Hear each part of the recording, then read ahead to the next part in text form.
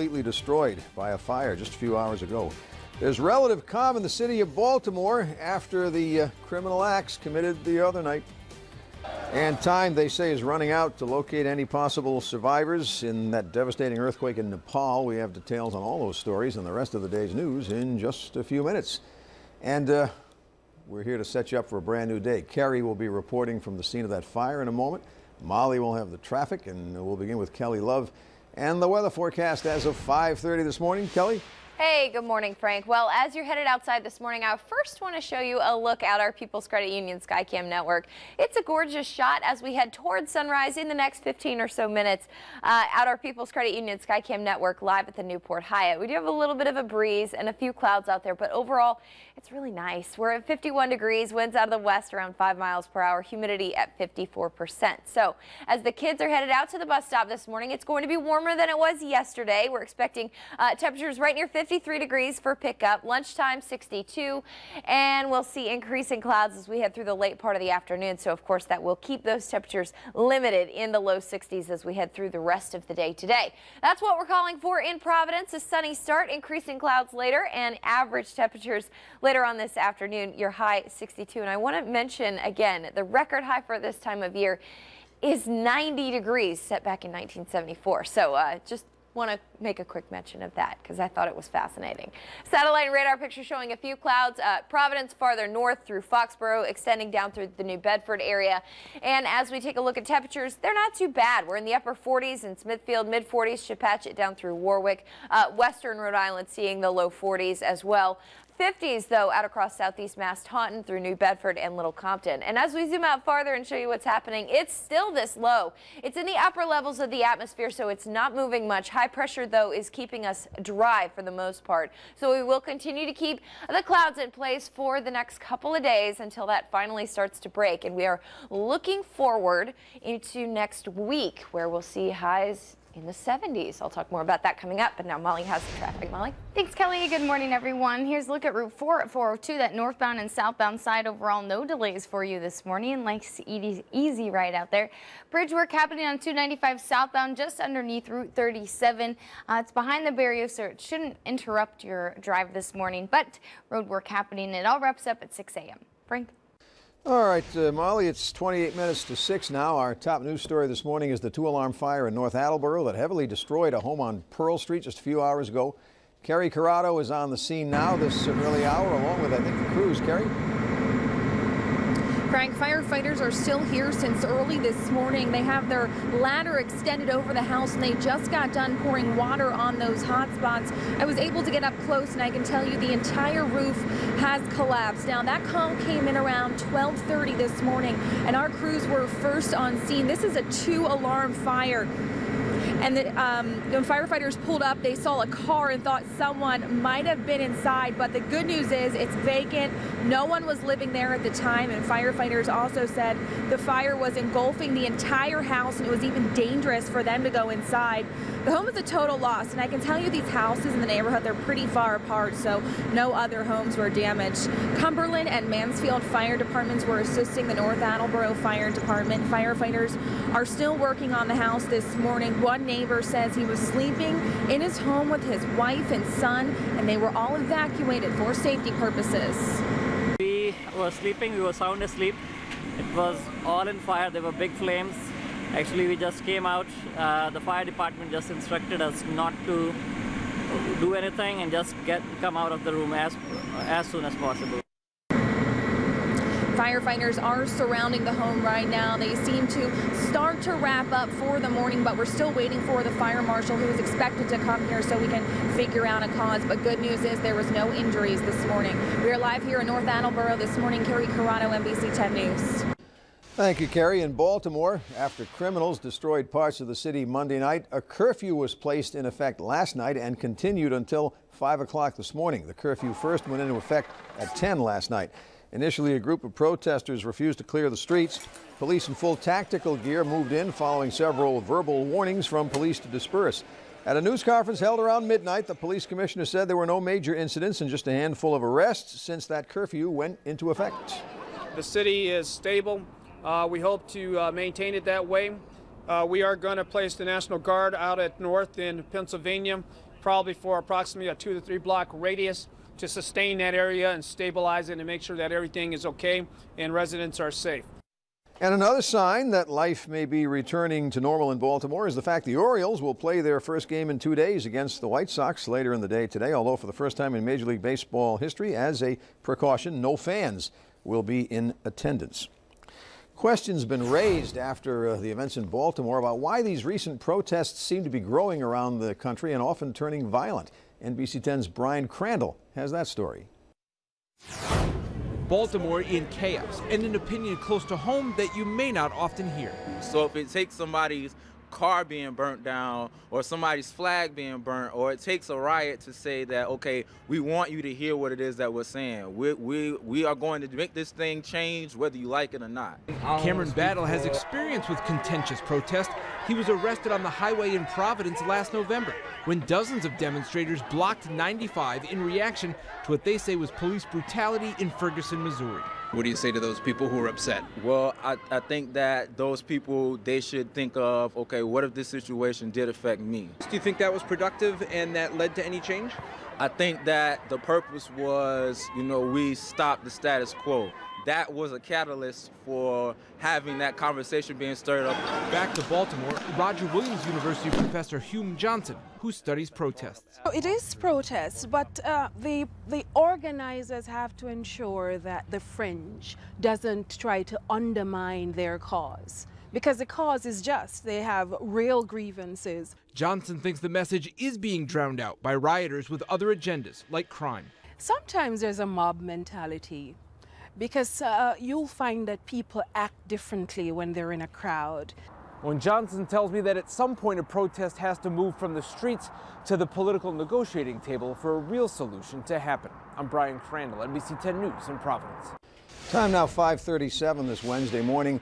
Survivors in Nepal continue to cope with the aftermath of last Saturday's devastating earthquake. The death toll has now officially surpassed 5,000 people. Survivors continue to be pulled from the rubble of collapsed buildings, but rescue workers say now it's a race against time to find any more survivors. And at the United Nations, they estimate 8 million people have been affected overall. At this point, it's believed 1.4 million people are in need of food assistance. Testimony in the sentencing phase of the Boston Marathon bombing trial will resume in a few hours today. Yesterday's focus was on Rhode Island native Katherine Russell. She's the widow of Dzhokhar Tsarnaev's brother Tamerlan Tsarnaev. Russell lived in North Kingstown at the time of the bombings. Defense attorneys say she searched the web for information on how women would be rewarded if their husbands become martyrs. Jurors also heard what both brothers kept on their computers. Tamerlan's computer had Islamic propaganda and violent images on it. Dzhokhar's computer didn't have most of that content. The jury has to choose between sentencing Dzhokhar to either life behind bars or death. The jury will resume deliberations later today in the murder trial of Michael Patino. Patino is accused of severely beating his girlfriend's son, six year old Marco Nieves, in the year 2009. The boy eventually died from those injuries. Prosecutors say Patino admitted in a series of text messages to the boy's mother that he did beat the child. The uh, tone of the text messages actually indicates he was proud of it. Defense attorneys say the boy was acting ill from the beating for several hours. He was with his mother during that time, and they say she did nothing to help him. And in a moment, here on the Sunrise Show, we'll have the story of the man who had to be rescued after he fell overboard and why it had everything to do with good timing by the police. We'll also uh, talk about the teacher being called a hero after he tackled a student with a gun. Kelly? Yeah, well, we're talking about warmer temperatures as we head through next week. I'll tell you what we have to deal with first before we can get there coming up in your forecast those uh, warmer temperatures next week. If we had a studio audience, Kelly, they would be bursting into a round of applause right around uh, now. But uh, we don't, so we don't hear it. But we're feeling it. Mike Medeiros is feeling it too, probably. Mike Medeiros from New Bedford, the newest member of our world famous Early Risers Club. Welcome aboard, Mike. To get your name announced on the air and printed on the screen, just tell us who you are and where you're from on Facebook before 5:30 in the morning. That's all it takes. Closed captioning on NBC 10 is brought to you by Cardi's Furniture. Nairobi offers same day mattress eye delivery seven days a week.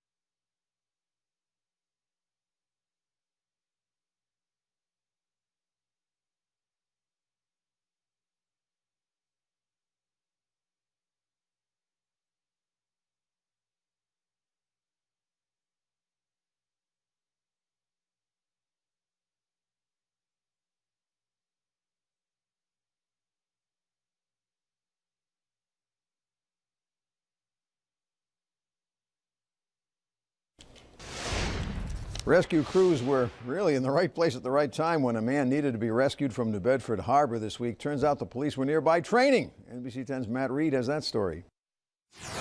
It was supposed to be a quiet day on the water, but just after 2:30, a scream heard in the distance. New Bedford police officer Michael Cassidy's boat headed towards the sound. Cassidy says the victim was bleeding from the head and was between the pier in a shipping vessel. That's when Cassidy jumped in and helped bring the man onto the boat. Normal everyday stuff, you know, it's you got to go help somebody. It's our job. This photo taken by the Standard Times shows the unnamed victim being carried away on a stretcher. The man is lucky his accident happened at the exact time the Massachusetts Environmental Police were training the New Bedford Police and other agencies on water rescues. Whether it was luck, divine intervention, or just being at the right place at the right time, these officers were on the water, in the harbor, when they were needed the most. In New Bedford, Matt Reed, NBC 10 News. Providence Mayor Jorge Elorza will present his proposed budget for the fiscal year 2016 later today. His plan, in fact, will be unveiled during his address in City Council chambers tonight. The recent rescue of a dog from a dog fighting ring in Mississippi has brought to light some problems in Rhode Island law about the protection of such animals. And NBC 10's Olivia Fecteau has that story. Oh, good girl. Lady Maybelline was rescued last year from a dogfighting ring in Mississippi. She has gone you know, from the end of a chain where she was padlocked to her collar, and now she's come up here and really found out what life is supposed to be like. Jacqueline Buffoni of Handsome Dan's Rescue says the pit bull has come a long way, but under current laws, her past haunts her. Any dog that attacks a person or animal could be subject to a vicious dog hearing. They cannot be teasing, tormenting, provoking, abusing, or assaulting the dog. Joe Warzycha investigates animal cruelty cases for the Rhode Island SPCA.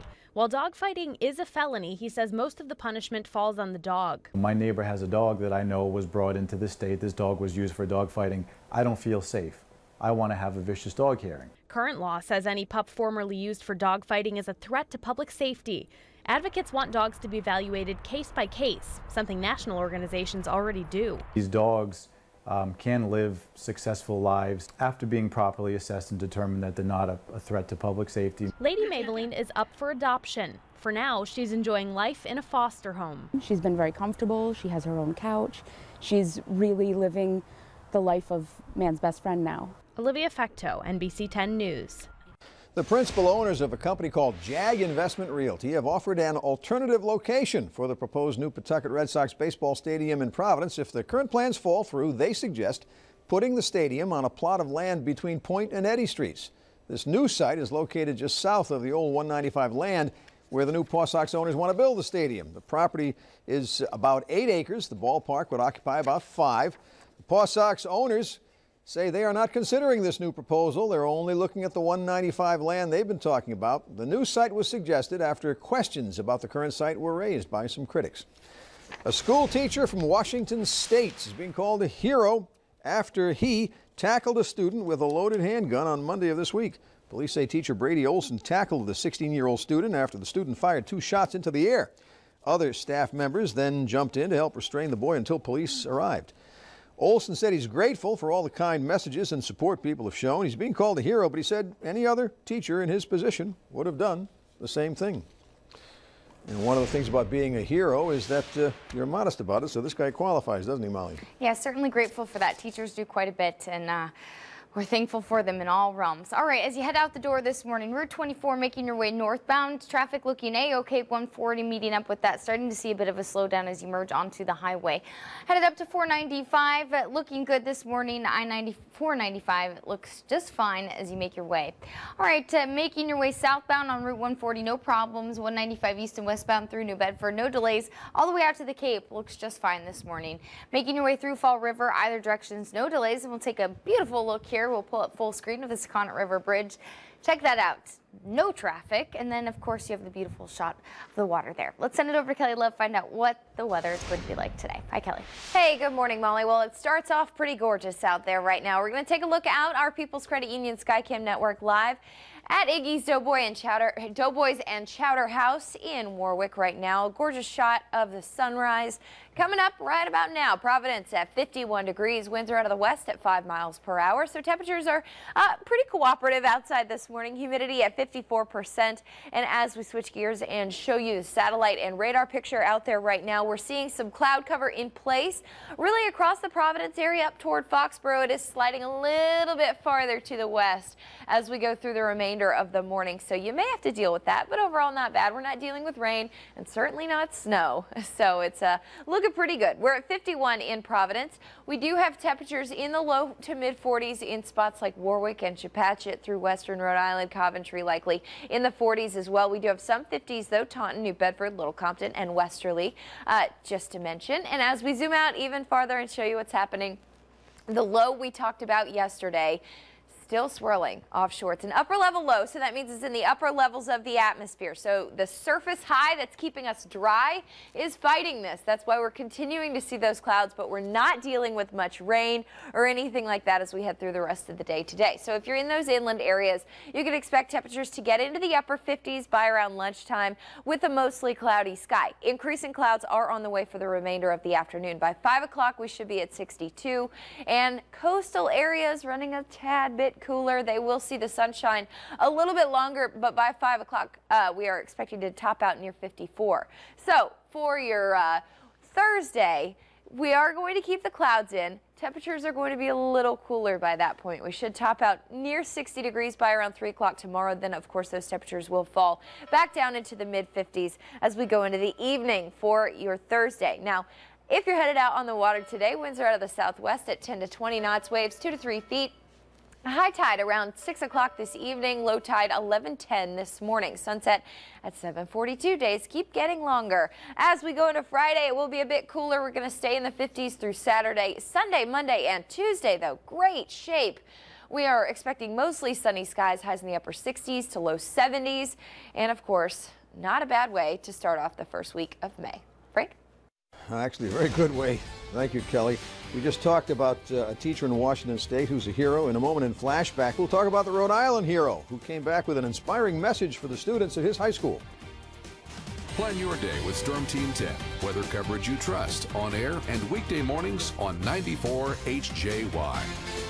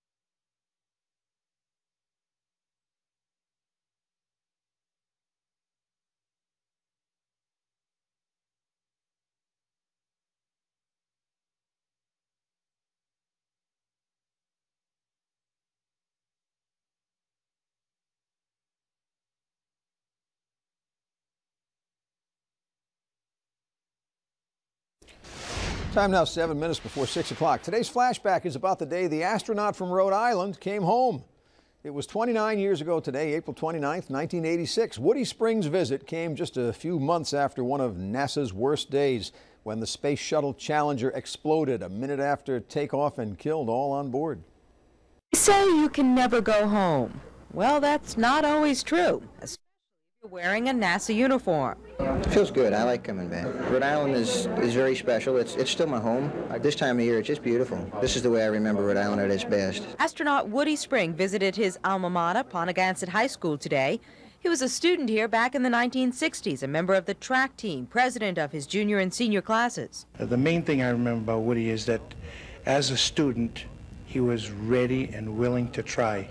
And that led to success for Woody Spring. He is now a shuttle astronaut. Today, he told students about the space program, about the opportunities it offers, and about the Challenger accident. As a test pilot, we had still ended up bearing a lot of friends, and sure, it makes you think about things again, but uh, the space program is still where I want to be and where I want to work.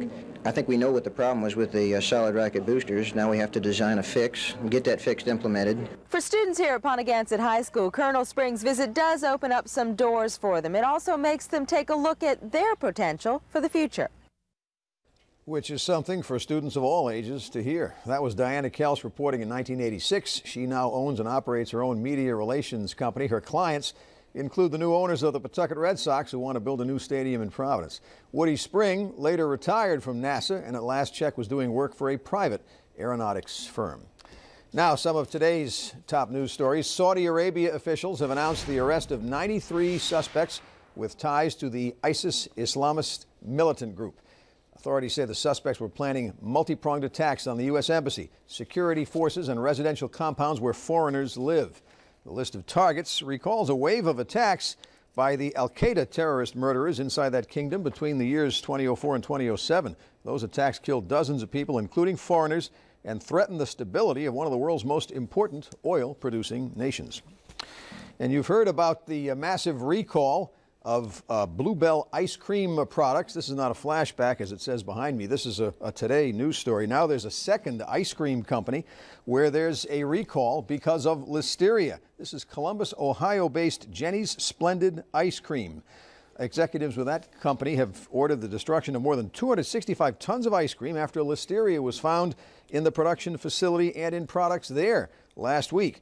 The CEO, John Lowe, says they will spend about $2.5 million. That's what it will cost them to destroy the uh, ice cream. So now there's a recall of ice cream from a second ice cream company, Jeni's Splendid Ice Cream. The Hartford Wolfpack beat the Providence Bruins 2 to 1 last night. That playoff series is now all evened up at two games apiece. The uh, win by the Wolfpack forces the fifth and deciding game. That will be Friday in uh, Hartford. And we're back in just a moment with uh, more of today's news, including the latest from Baltimore, where despite a 10 p.m. curfew, some residents stayed out on the streets. There were some arrests. We'll check out the situation in just a moment.